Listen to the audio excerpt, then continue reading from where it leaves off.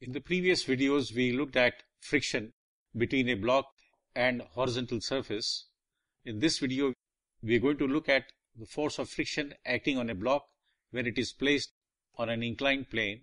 The block is of mass 10 kilograms and the coefficient of friction between the block and the plane is 0.7. In part A of the problem, this angle of the incline is 60 degrees and we have to find the magnitude of the force F when the block slides down steadily. What does that mean? It means that the speed at which it is sliding down is very small. In other words, there is no acceleration and therefore this problem is quite simple and straightforward because we can use equations of equilibrium. So the first step in finding the solution is to draw a BD of the block. So here is the FBD of the block. The weight mg acts downwards. The force F is pulling the block upwards.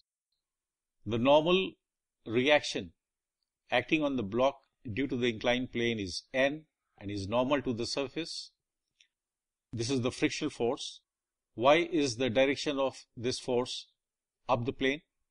It is so because the block is moving downwards and therefore the force of friction would act in opposite direction. Therefore, this is acting up the plane. Do we know the magnitude of this force? Yes, we do.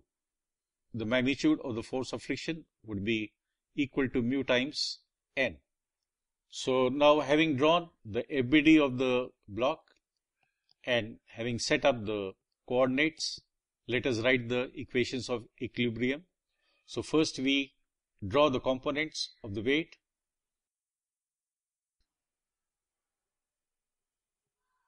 one component will be like this, another component will be like this.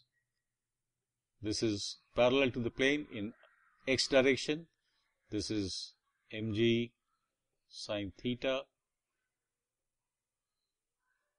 and this is mg cos theta.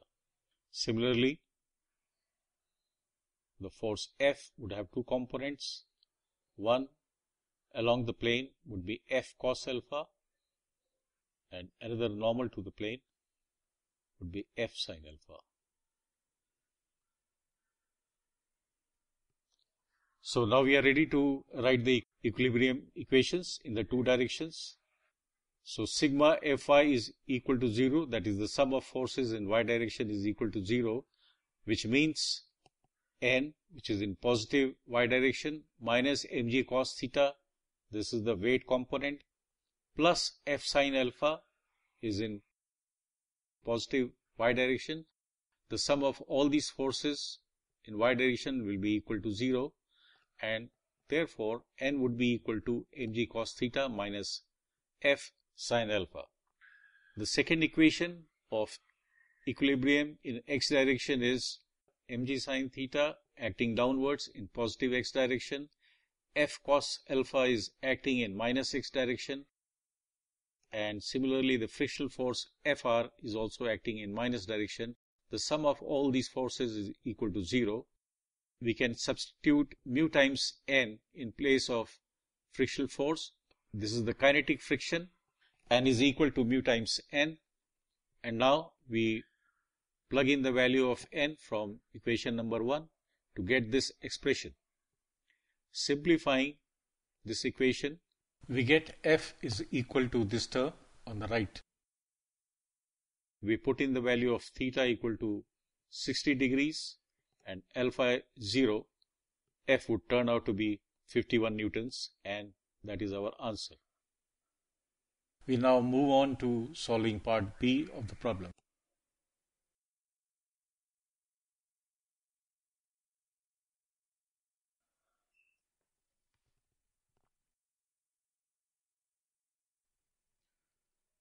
So as compared to the previous problem, there are some minor changes in this problem.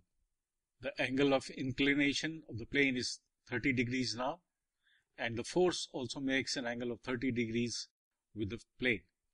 And the magnitude of the applied force is given as 20 newtons, and we are supposed to find the force of friction. But there is a major difference. unlike the previous problem, wherein we were told that the block is sliding down with a very small velocity, here in this problem, nothing has been specified about the block, whether it is in equilibrium or it is sliding up or down. So the situation is quite tricky. How do we proceed? Well, the trick is to assume that the block is in equilibrium. How does that help? Well, the assumption helps in applying the equations of equilibrium and then calculating the force of friction. And after having calculated the force of friction, there would be a need to check whether the law of static friction is satisfied. So let us proceed and seek a solution. So as you know, the first step is to draw an FBD of the block. So here you find the FBD of the block, which is quite similar to what we drew in the previous problem. We have shown the components of the, the weight mg as well as the applied force F in two directions, one along the plane, that is the x axis, and one normal to the plane, that is the y axis. A question arises, what should be the direction of the frictional force? Since we do not know whether the block has the tendency to move up the plane or down the plane, how do we determine the direction of the frictional force? Well, the answer is we arbitrarily choose any direction and let the equilibrium conditions decide whether it is correct or otherwise. In other words, let's say we decide that the frictional force is acting up the plane and if our answer from the equilibrium equations comes out to be positive, then our assumption about the direction of the friction force is correct. So let us write down the equations of equilibrium. So the first equation is the sum of all the forces acting on the block in y direction is 0 and this is a similar equation what we wrote in the previous example and this gives us the normal force equal to 74.96 newtons. The second equation of equilibrium is the sum of forces in x direction equating it to 0 and this is a similar equation but now we have to find out the frictional force. The applied force is given is a known quantity and the unknown quantity is the frictional force and we work out this equation and the frictional force turns out to be 31.73 newtons. Since this answer is positive, our assumption about the direction of the frictional force is correct. That is, it is acting up the plane. But is that our final answer? And are we done with the problem? Unfortunately not. Because we made an assumption that the block is in equilibrium, but now we have to check whether it is indeed in equilibrium by checking if this frictional force satisfies the law of static friction. So now we compute the maximum possible value of force of friction.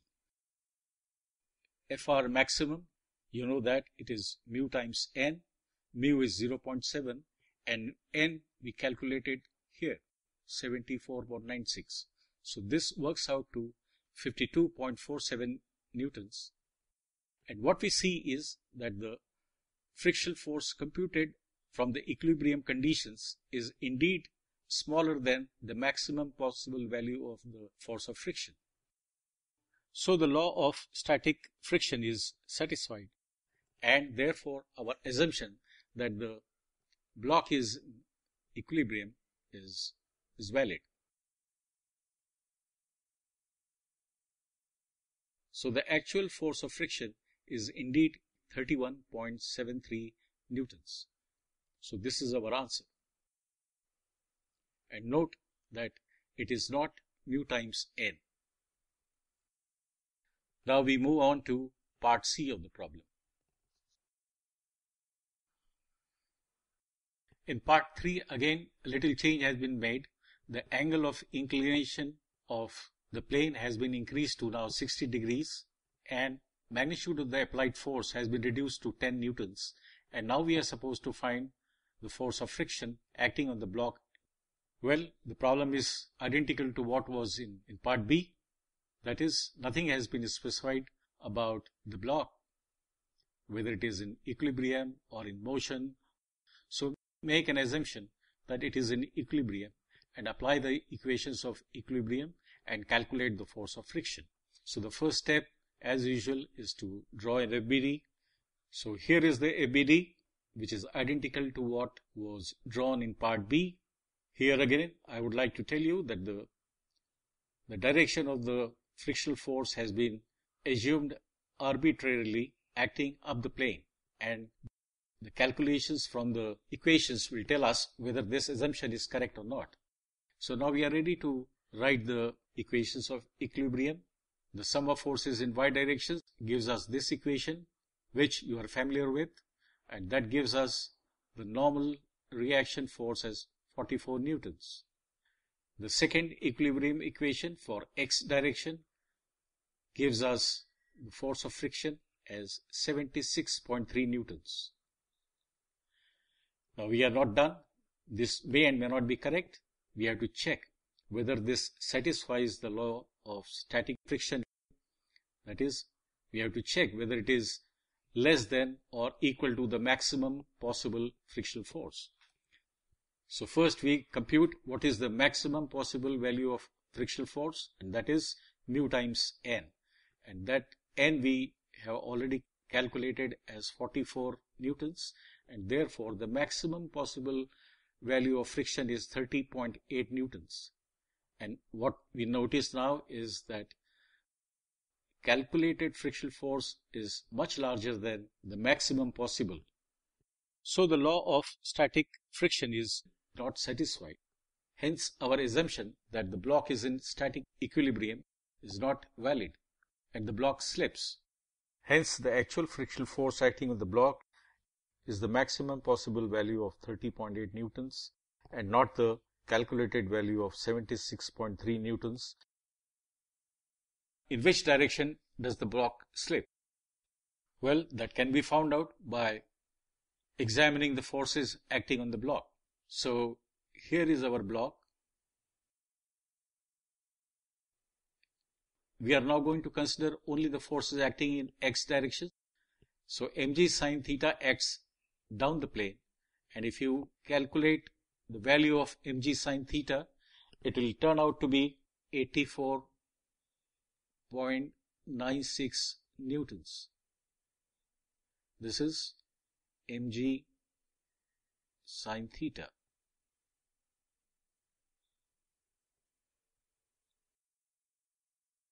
And which are the forces acting up the plane? One is the frictional force and that frictional force is 30.8 newtons. So 30.8 newtons. This is the frictional force. And the x component of the applied force is F cos alpha acting up the plane. And the value of that force will turn out to be 8.66 newtons. Now, if you add up these two forces which are acting up the plane, it is something close to 39 newtons. And the force acting down the plane is much larger, 84.96 newtons. So the, the block will slide downwards with an acceleration depending on what is the net downward force. And that net downward force would come out to be 45.5 newtons. So a net force of 45.5 newtons is acting downwards, causing the block to accelerate down the plane. So thanks for watching and if you liked it, please give your thumbs up and subscribe to the channel. Thank you.